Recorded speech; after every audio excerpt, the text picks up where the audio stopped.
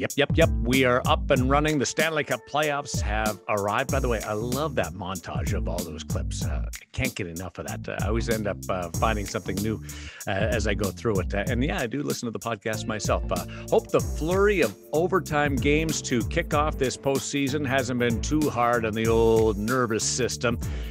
Yeah, things are a little frayed to start. Well, today to just give you a little bit of a break, we're going to take all the emotion out of things, out of our game, and just look at it from 30,000 feet. Mike Kelly is from the National Hockey League Network, otherwise known as the NHL Network in uh, in most circles, and uh, he also works with the analytics firm Sportlogiq. Uh, he will stop by to size up the North Division. Can Winnipeg, can Montreal really advance to the second round and get by the behemoths in the form of the Edmonton Oilers and the Toronto Maple Leafs. So, what will it take? And, and by the way, that Winnipeg series is all kinds of uh, drama, uh, trying to get uh, past uh, past failures and past stumbles. So we know the Edmonton Oilers the last few years haven't accomplished uh, what many many expected with Leon Draisaitl and Connor McDavid uh, in their primes. And Winnipeg, I mean, this thing against the Oilers and battling against the teams and the league's best player uh, goes back uh, a few decades uh, to Gretzky and Messier and Ranford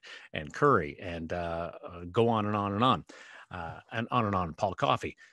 Grant Fuhr, Andy Moog. I'll stop there. But it goes back all the way to the 80s and the 90s. And can Winnipeg finally overcome that cloud that's been hanging over version 1.0 or 2.0. So uh, both clubs have something that they can accomplish against the other in that first round series. Uh, we'll dive into the North Division. We will also uh, get a, an opinion from Mike on a question that I've always wanted to ask somebody, but never found the right person to put it to. And Mike is perfect. If the game and sport of hockey was invented right now, today, as you listen to this, with all of our knowledge with analytics, would our sport look? Would it act? Would it feel? Would it present itself differently? And when I'm talking rules, I'm talking positions, I'm talking everything, coaching, uh, how we pick the teams. Uh, what would it look like? And and Mike is the perfect uh, person to answer this, and he's also coming at us with an incredible uh, response. So stick around for that. It is Mike Kelly on the Chirp with Daren Millard, and an episode that you will learn something. I guarantee it as we dive into the numbers and the Stanley Cup playoffs. The age old question, we will begin with that. And it's not chicken or the egg, unless you can answer that one. Can you answer that one? No, not at all. Okay. Then we'll, we'll go to question number two of the age old questions. Uh, how different is the play in the Stanley Cup playoffs than the regular season. Is it actually noticeable? Yeah, I think so. I mean, you, you hear coaches, players talk about it all the time, right? I, I remember being in Edmonton last year at a post game press conference, and I think it was Rick Tocchet, one of the coaches said it's a completely different game. You know, I actually think it was Jared Bednar. Um, it is very different. So, you know, in the line of work that I do in analytics, one of the things I've done over the last couple of years, because I get this question a lot from especially coaches, is how is it different and what wins? And, you know, a couple things that, you know, everybody listening to this will, will probably recognize just from watching the games. Teams dump pucks in more because they have to, because there's less available space to carry the puck. Certainly in the neutral zone, but really in all three zones because it's just tighter checking. There's more puck battles. Um, so there's a few different things that we track that you definitely notice an uptick in the playoffs, and especially as the playoffs go from round to round, as you get into um, the you know the, the conference final and the final, and it, there's really no available ice out there. So it is interesting to see those differences from the regular season, but also to see that there, there's truth that some teams are built better for playoffs than they are regular season. But of course, the yin and the yang is you got to get into the playoffs. So it's a delicate balance there. Why do you think it changes uh, statistically? Uh, again, I just think it's tighter check. I, I, don't think you can play an 82 game season or 56 even um, with the kind of intensity that you the, these teams play with in the playoffs. You, would run out of gas, you know, after 20 games probably. So it's different because it has to be. And I think you know Tampa Florida game one was unbelievable. Like that's playoff hockey, and there's not a lot of space out there. Um, so being able to build a roster that can play uh, a tougher style of hockey, and, and I don't mean go out and fight, I'm talking competitive skill. Like I, I look at a guy like Brayden Point as such an awesome example of that. He's not a big guy, right? By NHL standards, he's a small guy. He wins puck battles at a rate that is as high as almost any forward in the league. You can't push him out of the fight. Kirill Kaprizov in Minnesota is the same way. You can't push him out of the fight. Um, those are the type of players that skill, but also that, you know, grit, whatever you want to call it, but competitive skill. Um, the teams that go far tend to have a lot of those type of players. So, would a exceptionally skilled team uh, have more success against another skilled team as opposed to a team that grinds uh, based on the numbers? I believe so, and that's yeah. just kind of archetypes from teams, right? Like if yeah. th- there's you hear it all the time. Well, this is not maybe a good matchup for this team, even though this team might be a one seed and the other's an eight seed or two seven, whatever it might be. Um, yeah, if you have two similar teams that that play a similar way and one happens to be a little more talented than the other, then great. You get, you know, I'll use Tampa Bay um, and Columbus as an example of a bad matchup a couple years ago when Tampa rattled off whatever it was 60 plus wins and um, and got swept in the first round. What people may not appreciate about that Columbus team, they led the NHL in goals scored off the rush that year. They counterpunched as well as anybody. And so Tampa Bay was a high skilled team. They carry the puck a lot. They like to carry the puck and make plays. Well, Columbus would cause these turnovers and boom, they're gone and they can make you pay. And they did that. Um, I think Tampa learned some very valuable lessons, not only about roster construction, which they applied, but also getting guys like Kucherov and Stamkos and elite players to understand that if I don't have a play, I can't try to make one if it's not there. I got to get it deep, pucks deep, right? That whole cliche. Hmm, yeah. Um, and find a different way, uh, a more responsible way. And yeah, so they not only changed some of the players on their team, up and down the lineup, they played a different way. Um, and obviously, they were very successful doing it. Sounds exactly like what Toronto is trying to do doesn't it? It does. Yeah, I, I don't know about you. I've called Toronto Tampa Bay light in the past, just because they, you know, same type of team, a lot of high end skill. Yeah. Um, love to play a skill game, but you know, Toronto forechecks well. They play a heavy game pretty well. They win a lot of puck battles, uh, those kind of things. But that's something I'm going to be watching in this series because if you look, Toronto's the better team and they should win, and I think they will. But if you want to give Canadiens fans some hope, Montreal counterpunches really well, kind of like that Columbus team did. Like the Canadiens score an, uh, a really disproportionate amount of their goals off the rush compared to other teams. It, it's it's like I'm kind of joking, but I'm kind of not when I say the best defense against Montreal is just to let them have the puck in your end once you're set up, because they can't get around a, a set up defensive team. They just go low to high and they shoot and it's shot volume and and they don't score a lot by cycling the puck. So that would be the hope I think for the Canadiens is try to replicate that Columbus model where you're playing against a team that's better than you, um, and but you kind of hold on, hold on, hold on, and then get one. Mike, if if if Toronto and and Montreal are separated this by this much, uh, just looking at the eye test uh, standings, uh, first against and against fourth, how much closer are they uh, through analytics then? Um, well, it, I'll start at the very end and pull it back. At the very end, mm-hmm. I think our win probability um, has them as the Maple Leafs about 62 and a half percent favorites. So it, it's not a landslide. Mm-hmm. Um, but again, these are teams that play in very different ways. Like I'll tell you, and I will guarantee this for the first round. Toronto will have the puck in Montreal's end more. They will have more offensive zone puck possession. They will have way more cycle chances. Um, all this at, at even strength. Montreal could match them off the rush because they counterpunch really well, like I said. Um, but they're not going to win the territorial battle. So it's just how well can you defend? How well can you hold on when Toronto's, you know, rotating all those guys around the ozone, doing their thing with all their talent? Um, and how effectively can you counterpunch? But look, I, I, was super high in the Canadiens at the start of the year. I thought they yeah. could, a few things went right for them. They could win the division. And they got off to this awesome hot start. Well, guess what they did?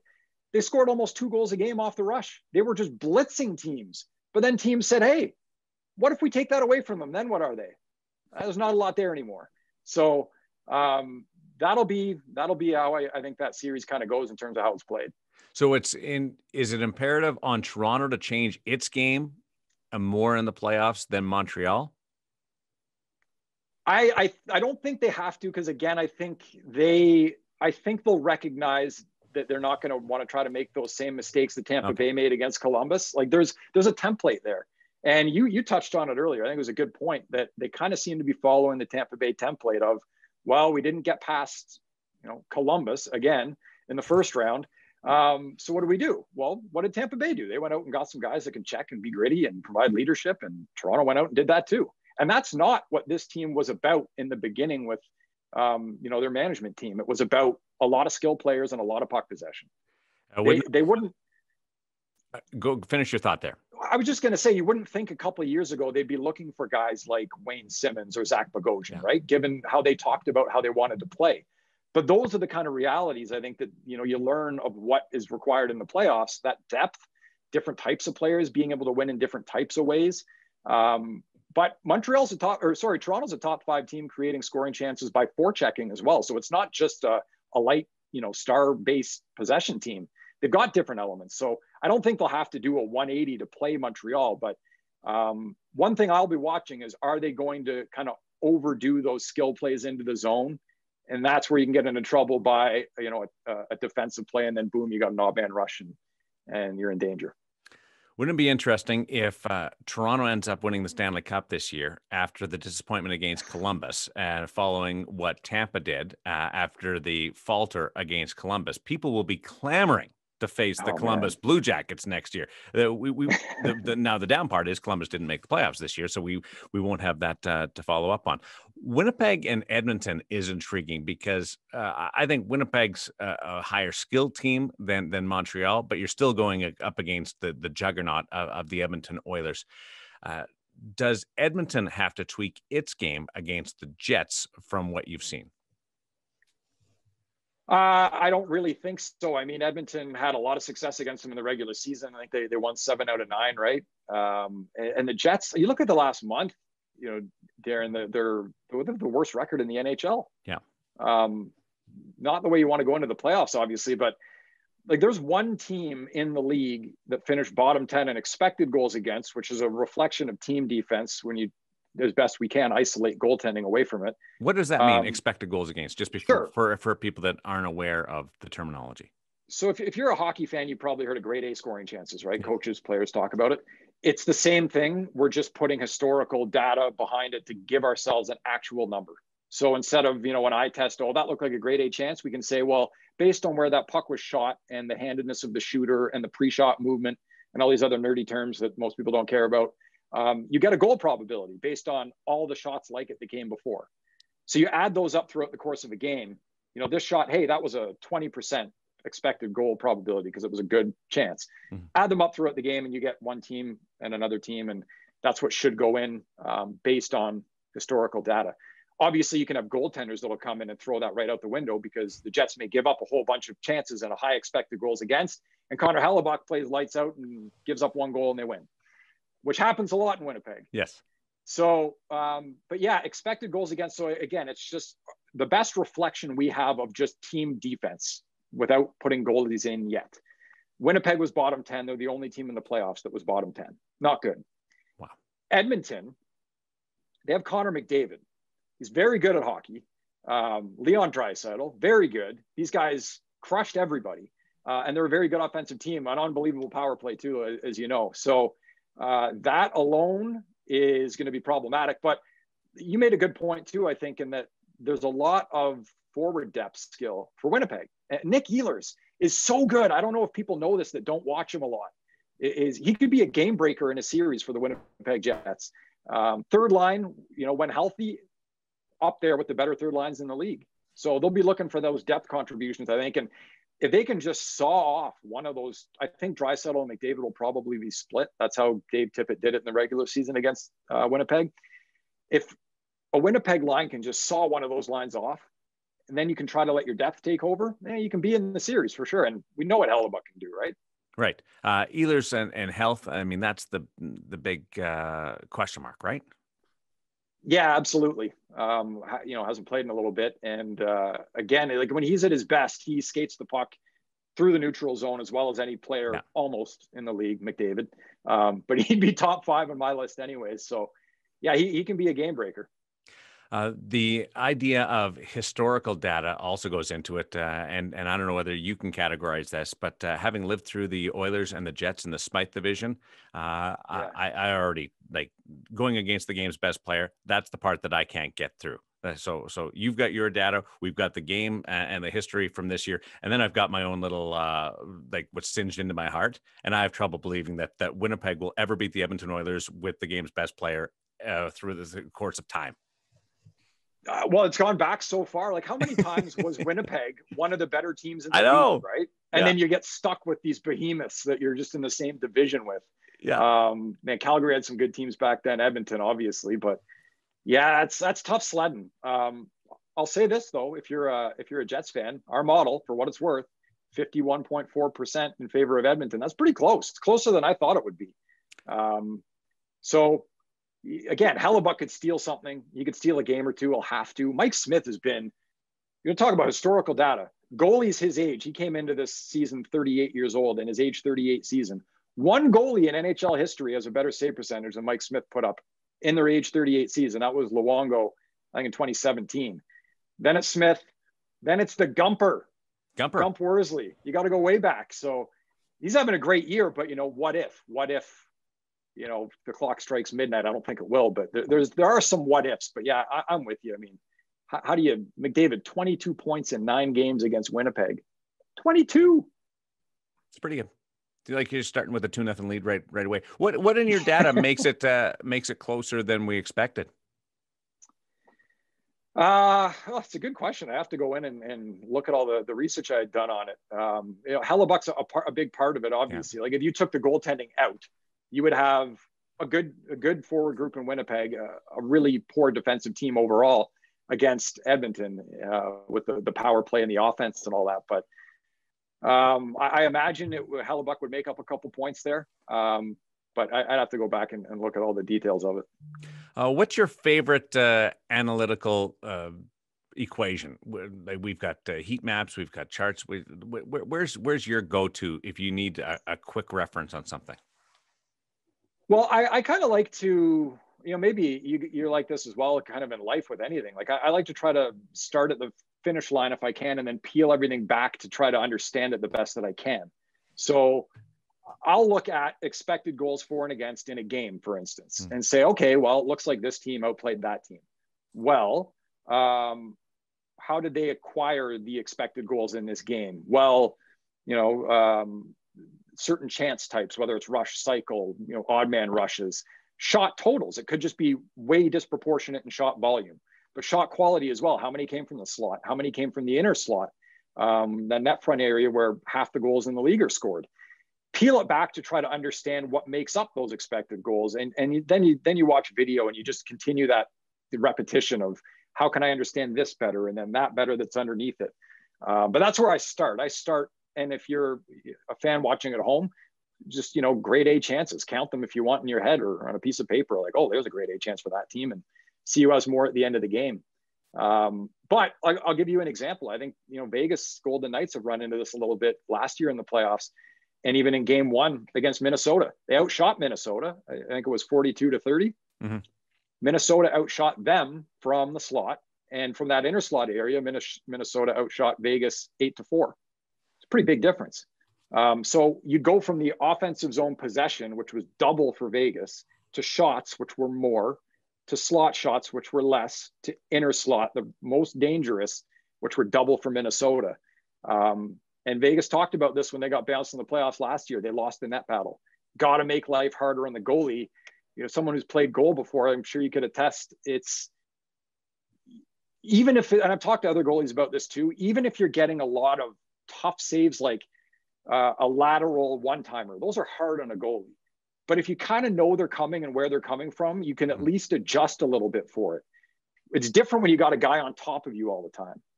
Um, and I think Vegas will probably be looking to do that a little bit more. Funny, you, you eight four in slot chances, and I I looked at it like how many saves did I remember Cam Talbot making that went me go made me go wow and how many did Marc Andre Fleury with that glove save? And he went, well, it was it was heavily tilted uh, towards Marc Andre Fleury. So the eye yeah. test and and the numbers certainly uh, mesh in, in that regard. Um, can you can you tell me uh, now that we're on on Vegas and Minnesota? why a team might have another team's number. Uh, we, we deal with this in, in, Las Vegas right now. And for, for the franchise's history, uh, Minnesota has controlled uh, the Golden Knights. It doesn't make any sense because there's been different incarnations and they didn't have Kirill Kaprizov and uh, Cam Talbot and Dean Evason and so forth uh, at, at the beginning. So what statistically, from an analytics standpoint, can you tell me why that is, or is there an answer to that? Yeah, it's a great question. Um, it, it, probably varies from matchup to matchup, year to year. Um, I certainly can't speak in depth about past years without going through and, and looking closer at it. But you know, this year, like the, the first game, like I talked about, how that you know difference in zone time, right down to you know the things that really end up matter mattering the most in the end. Yeah, went from Vegas to Minnesota, um, and the expected goals in the game were almost identical, despite more zone time and, and shots for Vegas. Um, regular season, what this is one of the things that I, I looked at that kind of jumped off the page to me in the series was Minnesota third in the league creating rebound chances around the net, and Vegas was 28 allowing them. So you know Vegas was a, an incredible defensive team. I think they were the best goals against in the, in the NHL. But how do you break a team down, and where are there little you know inefficiencies you could try to exploit within any team? That's what coaches are obviously looking at all the time. Um, can you get in front of Vegas's net? And you know, do their D struggle to box out, or is it just easier to pop in and out at certain times based on how they play? All things that coaches would be looking at. Um, and then, you know, is Minnesota a team that can play a, a really good in front of the net type game? Yeah, absolutely they are. So is that going to be something a trend to watch for as the series goes on? You can see it in the first game. You know, Vegas will obviously look to adjust some things, but I think more than anything, when you see you know a team that might just have another team's number, uh, it could be goaltending first and foremost. Obviously, that's a huge thing that that uh, you know numbers can't explain away a lot of the time, just because it's a freakish thing. Um, but then it's it's matchup inefficiencies. Is one team just really good in one area that another team struggles in, even though the overall might be closer or even tilted a certain way. Who is the uh, analytical darling, uh, the underdog the team that uh, that maybe doesn't have home ice advantage, but you look at the numbers and say they could do something. So Minnesota is one of those teams yeah. um, going in for sure. Um, the just in terms of of low seeds with um, the best win probability in the first round in our model, it was Tampa Bay, and it's you know you're kind of cheating there because they're the defending champs yeah. and whatever. You don't call them an underdog. Um, but Boston was next, and Winnipeg was was third. So those would be the ones I guess to look for. The team I'd be kind of afraid of right now is Nashville. Um, and I love Carolina. I, I, think they're a team built for the playoffs. They're a heavy dump and chase, forecheck, in your face type team. Um, but th- this Nashville team, over the last 25 games of the season, has a better record than Carolina. They are buzzing right now going into the playoffs, and they're hungry on pucks. And Saros has been amazing. Um, so, you know, they're a team that overall during the season, you put it all together, not great numbers analytically, um, but coming in hot for sure, however much value you want to put on that. I have wanted to ask this next question for a long time. It has nothing to do with the 2021 Stanley Cup playoffs. And I have to be careful how I phrase it to make it uh, as less confusing as, as possible. How different do you think our game would be if analytics was at the forefront instead of the eye test. So if we came at this this the building our game, uh, creating our game, growing up with our game from a from an analytics base, and the eye test was the outlier, was the new kid mm. on the block. Do do you think our game would be much different? And for, first of all, do you understand the question? Because I've I've gone through it in my head a thousand times trying to figure out how to how to phrase it. I think so. I mean, it, it's it is hard to imagine if we're talking like from day one back yeah. in like the early 1900s. Uh, how would this be different? Uh, man, I'll say this: analytics in this sport are in its infancy. Mm-hmm. Infancy. Still, we do. Yeah. Oh yeah. In terms of where it will go and, and what it will ultimately, I think where it will settle in the game compared to other sports, it's new. Um, it doesn't mean there's not a ton of value already in um, having the best information and being able to apply it as as well as any anybody uh, any other team any other whatever it is um, but how would it be different? Well, I think we've understood through you know analytics there are some some truths. Um, we understand the value of shot quality. But again, you could talk to coaches, some coaches 40 years ago that would have told you that, yeah, I don't want my team just throwing pucks at the net. I, I want, you know, the best quality shots possible. But how do you marry that with, well, offensive zone puck possession time? Like I look at that as a defensive statistic because I can tell you about teams that have the puck in the ozone a lot and don't do a lot with it. Um, what can't happen when you have the puck in the ozone is the other team can't score on you ever. So there are teams that don't have a lot of offensive zone puck possession that score a lot because they attack off the rush really well and they don't need a lot of time in the ozone.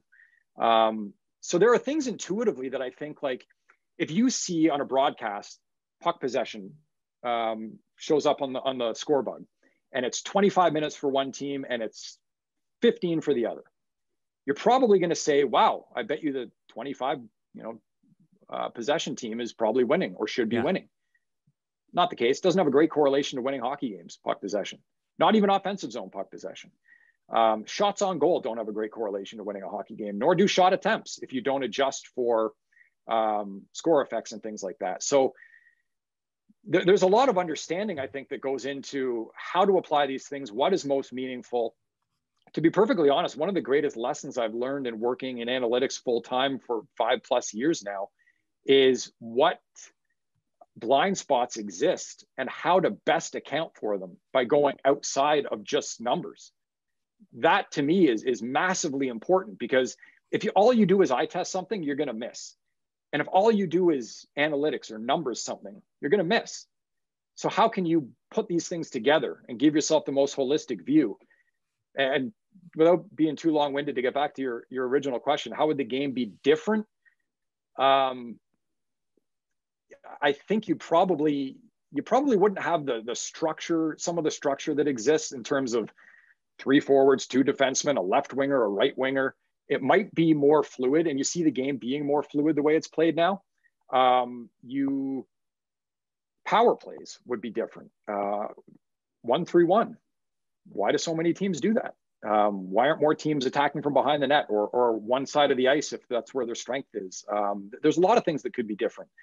Um, it's a fascinating question for sure. Uh, but yeah, I, I, think there'd be less structure in the game. I don't think it would be as, as over, you know, coached, I guess, maybe as it is now. Like one, one thing I want to see is if you're trailing, say there's five minutes left and you're down a goal, you know, you're going to pull the goalie with maybe a minute and a half left, two minutes left.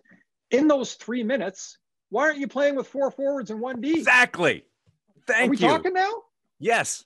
Thank yeah. you and if that's how you're best, you know, built to win, maybe you've got two great offensive defensemen. That's great. But let's mm-hmm. pick a team out of a hat, you know, um, Colorado. Yeah. Why aren't you, you know, and again, you're going to rotate some forwards too. You can't just have your big dogs on all the time, but you got Sam Girard out there. You got Cale Makar out there. One of those guys at a time and let your amazing forward just roll, you know, with them. And you, have got some defensive, you know, acumen out there, but you're pushing for offense. You need to score maybe a bad team more so than than the really good teams. Great point. Should should go with four forwards. I, I you're you're man. I knew we were gonna be buddies. I, I absolutely knew it. And so I, have got a game tomorrow. Then I've got a game the next day. And go, what should I be talking about after the first period? If you've taken shots on goal, all my all my go tos are gone. Possession, shot attempts, shots on goal, um, uh, and and hits. Uh, where where should I be going?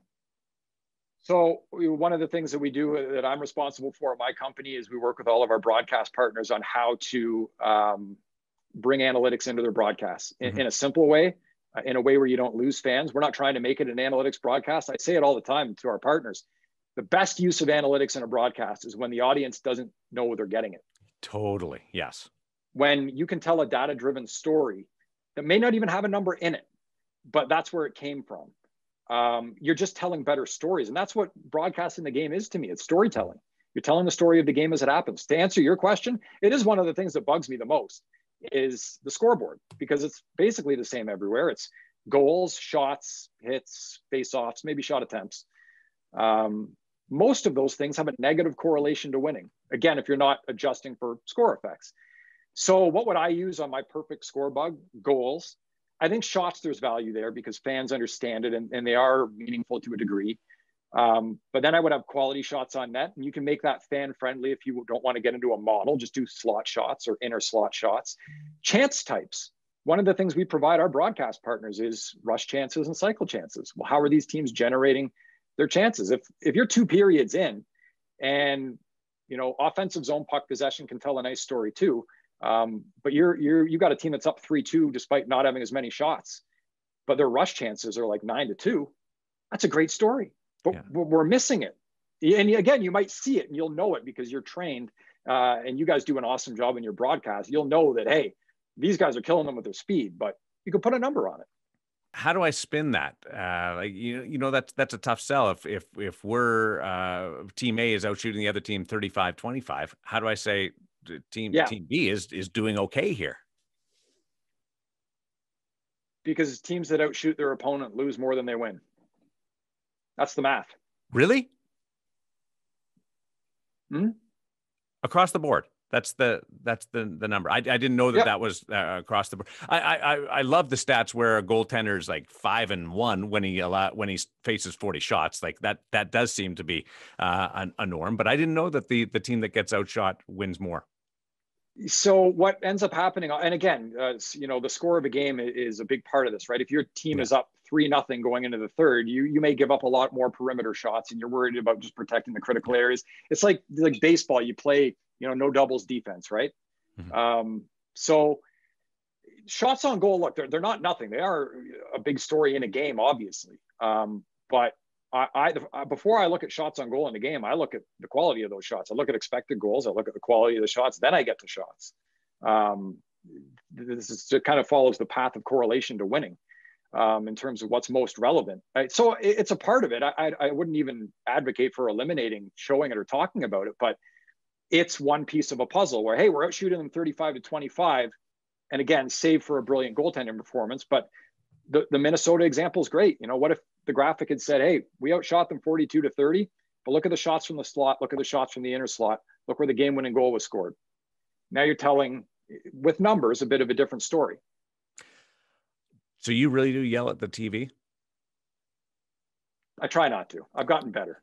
yeah. no, you know what? Look, I, I, have an appreciation for what's been done and why it's been done. Um, I get it. And, and I'm again, I'm not somebody just because I work in the space who thinks that the whole broadcast should be analytics. I do think there's improvements that can be made. But I think, look, I think watch a baseball game and, and you've got ex players with no background in statistics or analytics, and they use numbers all the time. They're talking about launch angles and they're talking about spin rates, and it's just become accepted. Um, in basketball, you see it. You'll see it in hockey. It will go there. It's what is going to be used how much of it is noise versus the signal and who's going to get there first uh, it's easy to be lazy, right? And just uh, go off your eye test and and do that. So that must m- make you just completely bananas when somebody's going it, down that path. It, it it only does if I know there's a better way. Uh, right. You know, it, it's funny because some of the analysts that we work with, and, and we work with some of the best analysts in the game uh, at the national level, that are already the best because they see the game so well. And they're the ones typically that come to us and say, you know, hey, how can I use this stuff in the broadcast and how can I get better? And it's kind of funny. Like it made me think these are the people that probably need it the least, but they're the ones that are the ones that want to adopt it. Maybe that's why they're the best at already at what they do, right? Because they're always looking to be as good as they can be. And that's that's beyond this. That's sports in general. It's life, I think, in general. Um, so no, I, I don't. A lot of the people that do these games, um, they know the game so well. They see 90 plus percent of it for what it is. Um, if we can help, you know, fill in as much of that 10% as possible, we're just getting a little bit better, which I think is what analytics is. It's how can I get incrementally better and give myself a competitive advantage. I'm going to sound so smart next time I'm on the air. So just absolutely brilliant. Uh, who are some of your analytical darlings uh, from uh, an individual standpoint? Well, the guy a year ago um, that I was big on, NHL Network asked me to pick a player at the start of the year to, you know, who's who's the guy to watch this year, and I said Carter Verhaeghe. And I think they looked at me like I had two heads in the beginning because they're like, really, you want to talk about this guy? Like, we've got all these superstars in the game. You're selling this. Yeah. Um, but there was a reason for it. Now, I didn't think he'd go to where he's gone to, but I knew he could be a very productive top six player. Analytics, great scouts would see it with their eyes, I'm sure, as well. Um, but there were a number like you have to level things at a per whatever 20 60 minute rate with a player like that because of the usage. They only played minimal minutes on fourth line type of role.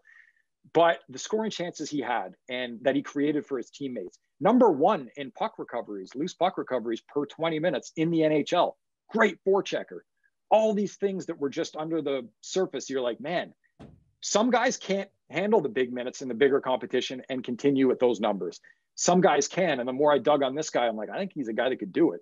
Um, and he's hold done. On, hold so on. He, before before you go any further, what made you think that he could transition from a guy who can do it with fewer minutes and a lesser role to being at a higher position? In limited times that he's been in those spots, he's been fine. And going back to like he led the American League in scoring a couple of years before with Syracuse. I mean, there's there is a sample of him in pro hockey being a big guy and getting it done. So that exists. I've fallen into this pitfall before a couple of years ago with a player who had a lot of these same type of numbers that I thought, you know, he got moved at a deadline and I thought, you know, wow, that's that could be someone who could be a, a good player for this team and it didn't work out. Um, and it hasn't. So you, there's trial and error that exists for sure. Again, always just trying to be better than you were the day before in anything that we do. Um, but Verhaeghe was a guy I, I thought he could go in play top six and be a good player for them. I did not think he would be one of the better even strength goal scorers in the NHL this season. That's been uh, a boon for Florida. So, do you remind everybody at the the network about that? hey, nobody else going to pump your tires, right? You got to do it yourself. Exactly. That's it. Pump everyone them until will they tell explode. me when I'm wrong. Yeah, everyone will tell me every time I'm wrong, so I, I don't need to remind myself of that. But uh, I sprinkle it in every now and then. I can, you know, we're talking, doing a highlight. Hey, there's Verhaeghe. Remember that Carter Verhaeghe guy? but look, uh, Vegas found a ton of those guys. I mean, yeah. I, I, think they apply analytics as well as any team in the league. They're, they do a great job. Yeah, Chandler Stephenson, uh, mm-hmm. Janmark, they they they've moved in. Uh, Nick Waugh, uh, three three acquisitions where they've they've backfilled, and Chandler's now playing top line minutes. Before I let you go, Jeff Carter, how did you see that acquisition and uh, at the start, and then what you're seeing now? I didn't like the acquisition. Uh, I mainly because he's got a year left. That's what I didn't like about yeah. it. But I admit that uh, even with the one game that that slightly skews the the stats with the goals, he's been good. No question. Um, I, I, didn't see this coming either. Um, I think when you look at how Pittsburgh plays, and again, they're a team, a lot of skill. Like they can beat you in different ways, but Vegas scored the most goals in the league off the rush. Pittsburgh was second, tied with Florida. Um, they play fast. Jeff Carter can move. Um, you know, he's, he's, he's getting up there in age, but he's not slow. Um, and you put him in a bit of a depth role with, with some good players. You can, after the fact, you can kind of look at it and say, oh, okay, I, can see how that can make sense. Because you, you, kind of fit into, you know, what they want to do pretty well. I, I didn't see it either. I, I thought he'd be fine. I didn't think he'd be you know, it, it's another it's another good body to have going into the playoffs. A guy who would be a regular and be fine. Um, maybe you know, there's things that I I missed that they saw. Uh, I'm not sure. He's been phenomenal for them. Um, mm-hmm. so you know, Pittsburgh's got a good track record too, right? Of, of finding those those pieces that they need to to make something happen. Uh, well, one of the best at, at trying to surround uh, those those pillars. Uh, who is your pick? Did you give a pick for the Stanley Cup? I don't know that I did. So do it here, I guess. yes, um, look, in my line of work, you hate doing it, right? Because the playoffs are a bit of a crapshoot to begin yeah. with, and I deal in probabilities, and nobody. And, and you're judged more. You're you're judged more harsh than than me because I can I can throw an, a, a, team out there and be like, ah, he just doesn't know what he's talking about. But you've got actual foundation to it. Oh no, I, I wear that pressure, even though I probably shouldn't. But uh, you do. It, look, I I want to be right as much as possible. Like I, I don't know that I have the luxury of being wrong as often as some other people, to be perfectly honest, no. because I come from a different background. Um, I didn't play in the league for 20 years. I can't just say, well, that's what I saw and that's what I saw. Um, you know, not to say that that's what everybody does or anything like that, but I, I do feel like I need to be a little bit more right than most um, to kind of. Um, anyway, so yeah, I, I deal like I said, in probabilities. And the funny thing about making predictions, if you're like, yeah, this team's a 65% favorite, that's a big favorite. Oh, they lost. Well, you didn't know your model sucks. It's like there was still 35. Nobody thinks of the 35. But uh, look, I'll, I'll tell you, I, I like Colorado. I know they got a, a war zone to get out of to, to make it happen. Like St. Louis is no joke. No. Um, they play a physical, possession heavy brand of hockey, and Colorado can do it too. But if Grubauer stays healthy, it's a big if. Um, as long as that happens, I, and I know they'd have to go through either Vegas or Minnesota, and that's hard. But if you can get through those two rounds, uh, that's no joke either. So I, I just think they're so well balanced offensively. They were one of the best defensive teams too in terms of expected goals against. I think they were number one. Um, so they're they're they don't have a lot of missing pieces that I can poke holes in. Do you have a lot of these conversations with yourself? Yes, yes, I do. um, I, I overanalyze. Trust me, believe me, but um, I love it. I mean, it's it's it's the best job, and I get to I get to talk to a lot of great people in the game, people that cover the game, um, do a lot of research. Um, I'll tell you one thing: I, I, love I love kind of getting the other side of it, the eye test side of it, um, because I know there's so much value there, and there's value in this side too, and you know, some of the best conversations I have with people are with full eye test people that eventually will say to me, yeah, you know what? I never really was that big into numbers, but this kind of stuff, I, it makes sense. Like I get it. And then you're like, okay, now we're talking the same language and now we can go and, and get to somewhere good. Feel good when a coach phones you up, wants to pick your brain a little bit. Is that still kind of cool? Yeah, it is. Um, you know, you see, you read the name on the phone, and I'm just like, oh god, here we go. Okay, uh, you know, try to everything. Do you, you think you're in, in trouble? no, not at all. But like, I'm oh. trying to think of like, okay, what's everything that I know about this team and this coach and this player off the top of my head and go. Because um, the thing about coaches is, it's like it's not, hey, you know, how's uh, how's your wife, how's your kid? There's a bit of that, but it's pretty quick into what's this, what's that, what are we doing? And away you go, right? Um, they're pretty to the point. But um, I did a presentation for a group of coaches, a lot of NHL coaches, some American League ones as well last summer. And I talked about the danger of, um, and again, I'm taking now my interpretation of, of the analytics. And that's what analytics is in, in, in, a lot of ways is somebody's interpretation of it beyond just the black and white. My interpretation was, I understand you want to have the puck in the offensive zone. Everybody does. Nobody will ever say that's bad. So full stop there. But I do think there's a danger in overvaluing what that is because you will hear sometimes teams say, "Oh, we had the puck in the ozone a lot. I like the way we played. We didn't win." Um, I, I, really see it as a means to an end, not an end point. And so the whole discussion was, you know, why I believe that and why I believe that it is something to be valued, no question. But winning that battle in a game doesn't really mean you won anything um, if you're not winning certain other critical areas.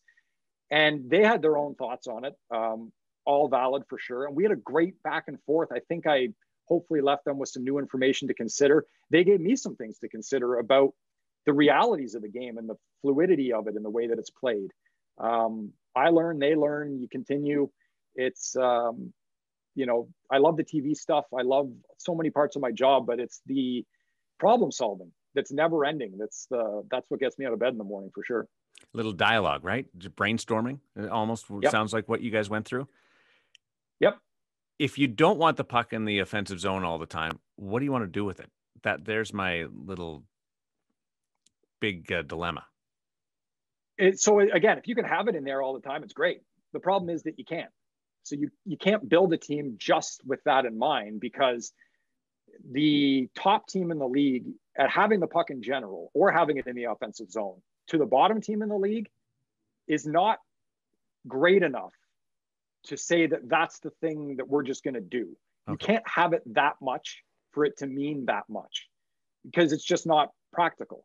Um, maybe if you were a super team in a six team league, you could do it. 31 team salary cap can't be done. Um, so, of course, you want to do it. And of course, you want to have it. And the teams that have it the most in the offensive zone, it's still about eight minutes out of a 60 minute game that you've got the puck in your stick in the ozone not a lot. There's a lot of other things that go on in the in a hockey game that you need to be aware of. So, you know, again, you could just look at teams that create a lot of chances off the rush and, and can score in different ways versus teams that will cycle it a lot. The Islanders will give you the outside. They'll, they say as much. Have it on the perimeter. they year after year rank towards the bottom of the league in defending in their own end and are always one of the best teams in goals against average and expected goals against because they don't give up the middle. They protect the critical areas. Um, and, and there's more dimensions to their game. So it's a piece. It's it's a piece, that's all. Um, but that, that is the first thing you get back for sure is, well, what do we do if we don't have the puck in the ozone? We don't want that. Like, of course you do, but yeah. it's just things to consider. And, you know, Bill James talked about it um, when he worked with the Red Sox. Weaponize the decision makers. Here's the information. Here's what I believe. You go make the decision. You are the expert in coaching this team, and you know all the other intricacies and details of what goes on and, and how to apply it. But we're here to, to give you information to help you think about things maybe in a different way. Um, and, and away you go. Last one for you. Uh, analytics were not used heavily uh, pre Vegas expansion. Much more uh, involved in the Golden Knights and will be certainly with the Seattle Kraken. Is that the major reason why Vegas was successful and why we expect Seattle to be successful? part of the reason, no question. Mm-hmm. Um, I, I, like I said, I, I, think Vegas, from some of the moves that they've made, looking at players they've acquired, expansion draft since then, um, you could look at players that we would look at it from an analytic standpoint and say, "Oh yeah, that makes sense. That's good. That's good," and and they've done well. Um, you know, my company at Sportlogiq, we work with a vast majority of the teams in the league. So there, there's a lot of teams that that use um, you know really really good data so then it becomes well how do we continue to try to have that competitive advantage um, how do we interpret the data how do we combine that data with maybe things that we track on our own um, other other uh, methods of evaluation. That's where the competitive advantage continues once you have the information is building the systems. Um, and, and, some teams you know there, there's going to be a team that is number one and there's going to be a team that's 31 and everything in between in, in terms of how that all works. So yeah, I, I, think Vegas, if you look at the, the moves they've made and, and how they've operated, um, pretty clear that they've they've done very well in that area. And Seattle has has taken a position where they've invested heavily in analytics, which is great. Uh, obviously, I think the more teams that do that, the better, and and all teams should do more of it. Um, but it's yeah, it's it's it's never the be all end all, like anything. I won't uh, I won't admit this too often, but uh, a lot of this podcast was for me uh, trying to get to the bottom of certain things, ask questions that I've always wanted to ask, and uh, and learn along the road. Uh, it's one of the great advantages of being uh, on on a podcast is being a, a, little more selfish every now and then. You've been awesome at uh, at uh, sorting through this. really appreciate it. would you mind joining us again in the near future? Oh, happy to do it, and great talking to you. I've I, I, obviously watched a lot of Vegas broadcasts. You guys do a great job, and, and listen to the podcast as well. So um, happy to do it, and and you know, for me, I think we always talk in, in a general sense of how do we sell the game? Um, how do we, you know, get fans as invested in the game? How do we attract new fans? You tell the stories of the players and, you know, hey, player X, you know, works with this charity or they did this trip or they do this thing and it's great. There's that whole engagement side. I think with data and information and statistics, you can engage fans in the same way, just in a different way of hey watch for this player to do this thing in this game because he does it better than anybody. And the message you'll get back is oh you know i watched i saw him do that. That was cool. You're just engaging fans in a different way. Next time i make a big deal about the shot clock in a close game text me and say get your head out of your butt. Hey more often than not if you have a lot of shots you got a lot of quality ones too but there are those those outliers for sure. So i'll uh I'll shoot you a heads up. And when when the Vegas fans hear you talking about, uh, oh, but we, did we look at the inner slot? Yes. I know that we were having a chat. Thanks, buddy. Really appreciate it. You're awesome. All right. Thank you.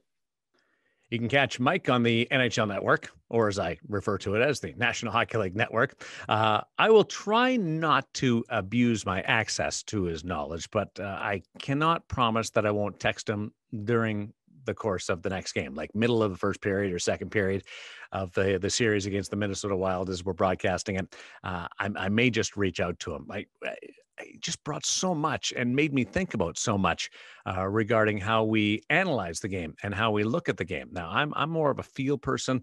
Uh, I'm not big on the heat maps. Uh, I admit that. Uh, those kinds of uh, presentations, I really need to be able to uh, think it through, not just look at numbers. And uh, I like the way Mike offers it up and he, how he presents his knowledge. what did you think? I'm curious. did you learn something? Did you go, that's great, but it's not going to affect me day to day, or how I watch a game on a Tuesday night? Or maybe on the other end of the extreme, there's nothing about this that uh, that really grabbed your attention. And uh, you know, there's probably somewhere in the middle, but I'm curious. Uh, let me know uh, through Twitter at Daren Millard, one R in Daren, two L's in Millard. And, and uh, my direct messages wide open. Send me a note there, or just post it on Twitter and uh, tag me in it, and uh, give me your thoughts on this episode of the Chirp with Daren Millard with special guest Mike Kelly. Also, want you to uh, hit that uh, like button, hit that uh, rating button, and uh, let us know what you thought. Uh, that does go a long way. Right, right now, it's the end of the podcast. Just do it. Like, take two seconds out of your your day. Uh, Bob Bender would be so appreciative, and it would help get Bob off my back. That's probably the best reason why you do it. Like everybody's got that one person that rides them about something, and you're like, please just get off my back about this. Bob's that way with trying to get you, the listener, the viewer, to rate, subscribe, and uh, and review. So uh, if you can do that, uh, I would be eternally grateful. Uh, thanks for listening to the Chirp uh, with Daren Millard, uh, Mike Kelly for stopping by, and of course Bob Bender for making it all happen. And even though he's he's a bit of a bit of a hard guy to get along with at times. thanks for listening. Appreciate it. Be good, everybody.